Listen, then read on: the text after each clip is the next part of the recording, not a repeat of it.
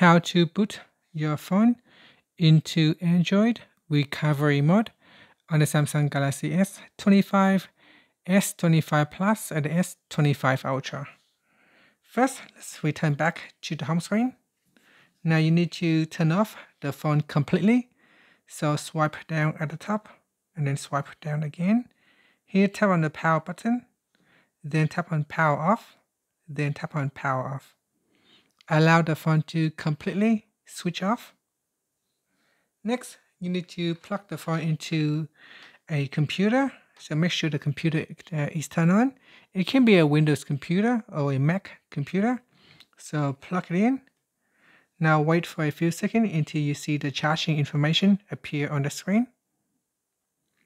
Okay, so once you see the charger symbol, press and hold on the volume up button plus the side button. So press on both keys at the same time. So let's do it now. Press and hold. Now press and hold on both buttons. Now continue to hold. Continue to hold. Once you see the Samsung logo, continue to hold. After that, you should see the Android recovery menu.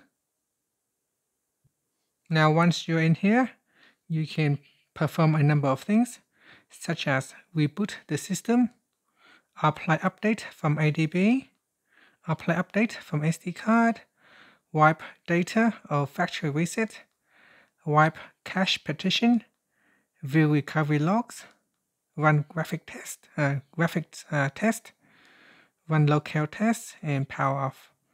And that's it. So that is how you can boot into Android recovery menu on the Samsung Galaxy S25 series.